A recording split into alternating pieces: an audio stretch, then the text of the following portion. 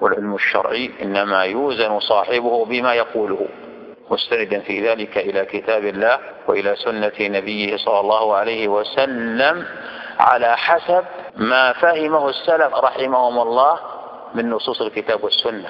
لأن من يأتي يقول أنا عندي دليل من القرآن أنا عندي دليل من السنة. المعتزلة يقولون عندنا أدلة. الأشاعرة يقولون عندنا أدلة. الجهمية يقولون عندنا أدلة. ولكن يقال الاستدلال بالكتاب والسنة على حسب ما فهمه السلف رحمهم الله.